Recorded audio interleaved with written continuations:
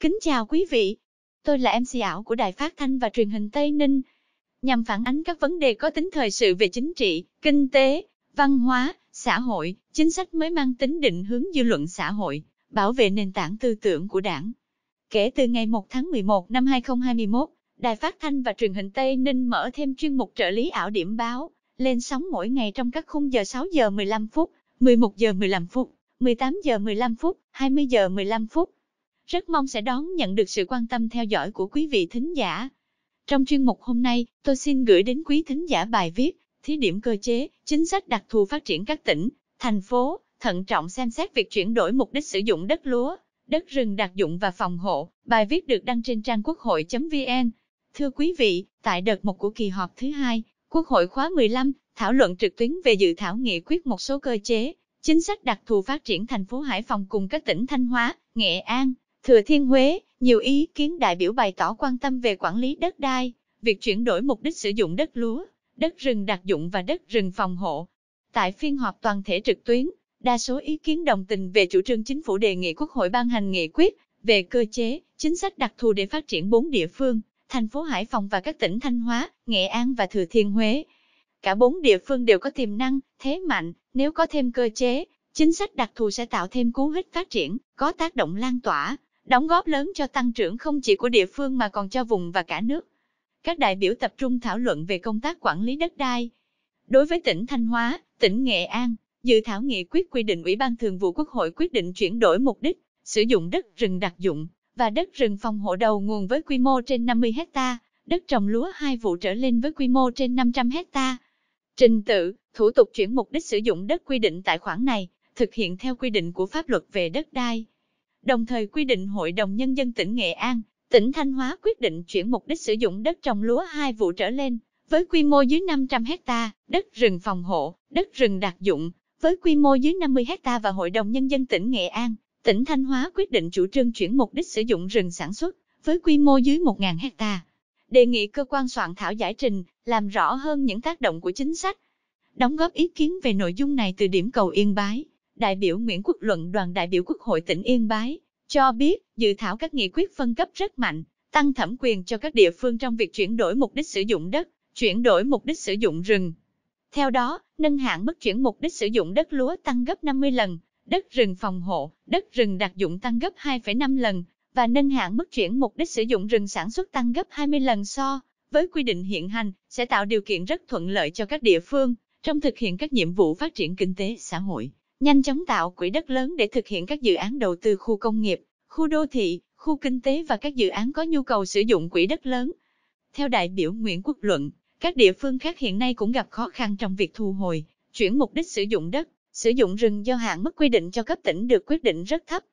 Đây là một trong những nút thắt, trở ngại rất lớn trong việc thu hút các nhà đầu tư. Do vậy, việc thực hiện chính sách này có thể dẫn đến sự cạnh tranh không bình đẳng giữa các địa phương được hưởng chính sách này với các địa phương khác, nhất là các địa phương liền kề trong việc thu hút đầu tư, thực hiện các dự án phát triển kinh tế xã hội đòi hỏi quỹ đất lớn. Đại biểu Nguyễn Quốc Luận đề nghị cơ quan soạn thảo giải trình, làm rõ hơn tác động của chính sách này, để Quốc hội có cơ sở cân nhắc kỹ lưỡng trước khi quyết định thông qua. Thảo luận nội dung này tại điểm cầu Ninh Thuận, đại biểu Đàng Thị Mỹ Hương đoàn đại biểu Quốc hội tỉnh Ninh Thuận, đề nghị cần làm rõ số hecta đất được giao thẩm quyền chuyển mục đích nêu trên là số hecta đất trên một dự án hay như thế nào. Nếu quy định trên một dự án thì quá lớn, do đó đại biểu đề nghị cần xem xét, nghiên cứu quy định chặt chẽ, đảm bảo minh bạch, tránh việc hiểu không thống nhất trong áp dụng để đảm bảo tính thuyết phục và công bằng, vì địa phương nào cũng cần chuyển mục đích sử dụng đất để đầu tư phát triển kinh tế, xã hội. Theo đại biểu Đàng Thị Mỹ Hương, Quốc hội cũng cần xem xét, ban hành nghị quyết điều chỉnh thẩm quyền chuyển đổi mục đích sử dụng đất đối với các địa phương khác, cho phù hợp, đảm bảo thuận lợi, kịp thời cho các địa phương đầu tư phát triển, thực hiện đảm bảo nhiệm vụ phát triển kinh tế, xã hội. Đồng thời, đề nghị cần quy định đảm bảo tính thống nhất trong ban hành văn bản quy phạm pháp luật khi triển khai thực hiện nghị quyết của Quốc hội, tránh việc chậm trễ, không đảm bảo tính liên tục, tính thống nhất theo tinh thần của nghị quyết Quốc hội sẽ làm giảm hiệu quả của cơ chế, chính sách đặc thù cho các tỉnh, thành phố được thụ hưởng. Về thẩm quyền chuyển mục đích sử dụng đất rừng phòng hộ, đất rừng đặc dụng, đại biểu Huỳnh Thị Ánh Sơn đoàn đại biểu Quốc hội tỉnh Quảng Ngãi, đề nghị chính phủ giải trình rõ quy trình thực hiện, các trình tự, thủ tục và các điều kiện liên quan đến thẩm định, đánh giá tác động môi trường, đảm bảo sự tham gia của các bộ, ngành có liên quan, nhất là tại các địa bàn sung yếu, vùng giáp ranh giữa các tỉnh khi mở rộng thẩm quyền cho Hội đồng Nhân dân tỉnh, quyết định chuyển đổi mục đích sử dụng đất rừng phòng hộ đầu nguồn, đất rừng đặc dụng dưới 50 ha. Đồng thời, đề nghị bổ sung thêm các quy định về nguyên tắc, điều kiện chuyển đổi mục đích sử dụng đất rừng phòng hộ, đất rừng đặc dụng trong nghị quyết nhằm đảm bảo tính chặt chẽ, thống nhất trong triển khai thực hiện, đảm bảo các mục tiêu quốc gia về diện tích che phủ rừng, bảo vệ môi trường, quốc phòng, an ninh. Cần thận trọng khi xem xét quyết định việc chuyển đổi mục đích sử dụng các loại đất. Từ điểm cầu nhà Quốc hội, cho rằng trong các dự thảo nghị quyết trao thẩm quyền của Thủ tướng Chính phủ, cho Hội đồng Nhân dân cấp tỉnh quyết định, đối với việc chuyển mục đích sử dụng đất trồng lúa hai vụ trở lên, và đất rừng đặc dụng, đất rừng phòng hộ, đại biểu Nguyễn Thị Kim Anh đoàn đại biểu Quốc hội tỉnh Bắc Ninh, nhấn mạnh, đây là giải pháp nhằm tăng thẩm quyền, tạo điều kiện cho chính quyền địa phương trong việc chủ động, phản ứng nhanh, giảm phiền hà, rút ngắn thời gian giải quyết thủ tục hành chính, nắm bắt thời cơ, cơ hội để thu hút các nhà đầu tư, tạo bứt phá để phát triển. Đề cập đến tầm quan trọng của đất rừng và đất trồng lúa, đại biểu Nguyễn Thị Kim Anh cho biết, Thanh Hóa và Nghệ An là hai địa phương đề nghị được chuyển quyền sử dụng đất rừng, cũng là hai tỉnh có diện tích rừng rất lớn. Tỷ lệ che phủ rừng của Thanh Hóa là 53,46%, Nghệ An là 58,50%, cao hơn độ che phủ rừng bình quân cả nước hiện là 42%. Điều này có ý nghĩa đặc biệt quan trọng về quốc phòng, an ninh, môi trường, là môi trường sống của hàng triệu đồng bào qua hàng ngàn năm. Việt Nam có tổng diện tích đất tự nhiên khoảng 33 triệu hecta, phần đất liền chủ yếu là đất đồi núi chiếm khoảng 70%, đất có thể trồng lúa có tiềm năng cho năng suất cao, không nhiều, phần lớn là ở những lưu vực phù sa của các sông lớn, các vùng đất bằng phẳng gần các thành phố, khu vực đông dân cư, nên diện tích đất lúa bị chuyển đổi sang các mục đích sử dụng khác tăng cao. Trong thời gian gần đây, để hình thành đất trồng lúa hai vụ trở lên, cần phải có thời gian bồi đắp, cải tạo tương đối dài hàng chục năm, ngay cả với các loại đất thích hợp cho trồng lúa.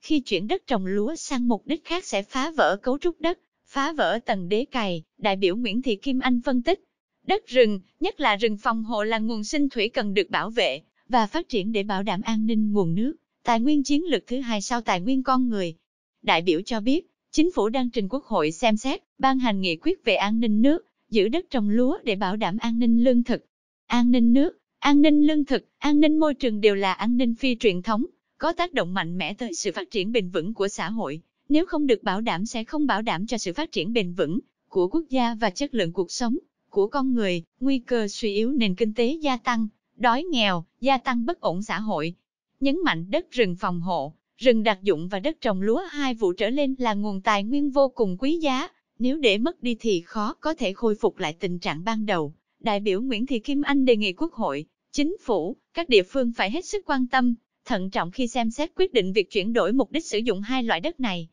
Đại biểu đề nghị Quốc hội phân quyền nhưng phải có cơ chế kiểm soát quyền lực chặt chẽ, có cơ chế chịu trách nhiệm rõ ràng, phân cấp phải gắn liền với trách nhiệm, phải cá thể hóa trách nhiệm của các lãnh đạo địa phương, các cấp ủy, hội đồng nhân dân trong việc thực hiện quyền Quốc hội giao. Chính phủ phải xây dựng cơ chế thường xuyên tổ chức kiểm tra, thanh tra để đảm bảo việc chuyển đổi mục đích sử dụng đất trồng lúa hai vụ, đất rừng phòng hộ, rừng đặc dụng phải được Hội đồng Nhân dân cấp tỉnh xem xét, cân nhắc, quyết định khi không còn phương án lựa chọn nào khác. Đại biểu Nguyễn Thị Kim Anh cho rằng cần đánh giá tác động kỹ lưỡng về cả kinh tế, môi trường, xã hội, có tính đến liên kết vùng, nhất là quan tâm đến sinh kế cho những người dân sống từ nghề nông, nghề rừng trên địa bàn. Tuyệt đối không đánh đổi bằng mọi giá, phải coi phát triển bền vững là ưu tiên hàng đầu, không vì lợi ích kinh tế trước mắt mà đánh đổi môi trường, đại biểu nêu rõ. Tại điểm cầu Hòa Bình, đại biểu Hoàng Đức Chính, đoàn đại biểu Quốc hội tỉnh Hòa Bình, đề nghị Quốc hội, Chính phủ nghiên cứu, phân cấp chung cho tất cả các tỉnh, thành phố về cơ chế quản lý đất đai, quản lý, quy hoạch, quản lý và sử dụng rừng như các địa phương thực hiện thí điểm. Vì đây cũng là những vấn đề vướng mắc, bất cập trong phát triển kinh tế của tất cả các địa phương trong cả nước. Nếu các địa phương có được những cơ chế phân cấp này, thì sẽ góp phần rút ngắn thời gian thực hiện các thủ tục chuẩn bị đầu tư, từ đó để nhanh tiến độ thực hiện các dự án, bao gồm cả các dự án sử dụng vốn ngân sách nhà nước, cũng như các dự án ngoài ngân sách, đại biểu nhấn mạnh. Đại biểu Hoàng Đức Chính cho rằng, đây cũng là một trong những giải pháp quan trọng nhằm tháo gỡ khó khăn, thúc đẩy phục hồi kinh tế sau đại dịch COVID-19 trong giai đoạn hiện nay. Đề cập về việc chuyển mục đích sử dụng đất đối với rừng đặc dụng và rừng phòng hộ, đại biểu Hoàng Văn Hữu, đoàn đại biểu Quốc hội tỉnh Bắc Cạn, cho rằng, để thực hiện việc phân cấp, phân quyền, tạo điều kiện cho các địa phương trong quá trình triển khai chuyển đổi mục đích, Chính phủ đã kiến nghị giao cho Hội đồng Nhân dân tỉnh Nghệ An, Thanh Hóa xem xét, quyết định việc chuyển đổi mục đích sử dụng đất rừng đặc dụng và đất rừng phòng hộ đầu nguồn với quy mô dưới 50 hecta, đất trồng lúa hai vụ trở lên với quy mô dưới 500 hecta. Đại biểu nhấn mạnh, đây là giải pháp điều kiện cho chính quyền địa phương chủ động phản ứng nhanh với những yêu cầu cấp bách về nguồn lực đất đai, từ đó tạo môi trường thông thoáng cho địa phương để thu hút các dự án đầu tư động lực cho địa bàn của tỉnh. Đại biểu Hoàng Văn Hữu đề nghị chính phủ tiếp tục quan tâm, tạo điều kiện trong thời gian tới, tiến hành rà soát tổng thể chung của cả nước. Đề xuất Quốc hội xem xét tăng thẩm quyền đối với Hội đồng Nhân dân cấp tỉnh, để thực hiện việc đẩy nhanh mục đích sử dụng rừng đặc dụng, rừng phòng hộ nhằm tạo điều kiện cho các địa phương. Đại biểu cũng kiến nghị với Quốc hội sớm nghiên cứu, điều chỉnh sửa luật đất đai. Bởi vì tác động của chính sách này đối với sự phát triển của các tỉnh rất rõ ràng. Nếu như cơ chế này được phân cấp đến các tỉnh, thì sẽ tạo điều kiện thuận lợi cho các tỉnh liên quan trong phục vụ phát triển kinh tế, xã hội. Quý vị thân mến, quý vị vừa nghe bài viết thí điểm cơ chế, chính sách đặc thù phát triển các tỉnh, thành phố, thận trọng xem xét việc chuyển đổi mục đích sử dụng đất lúa, đất rừng đặc dụng và phòng hộ. Bài viết được đăng trên trang quốc hội.vn. Chuyên mục trợ lý ảo điểm báo 18 giờ 15 phút hôm nay xin được tạm dừng tại đây. Cảm ơn quý vị đã quan tâm theo dõi. Hẹn gặp lại trong chuyên mục trợ lý ảo điểm báo lúc 20 giờ 15 phút. Thân mến chào tạm biệt.